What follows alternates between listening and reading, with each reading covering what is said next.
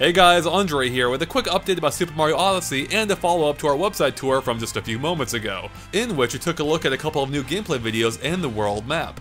Now, one of our fans on Twitter, Marthmer, pointed out that in one of the gameplay scenes, you can see a couple of new stickers on the Odyssey that seems to clarify a few things.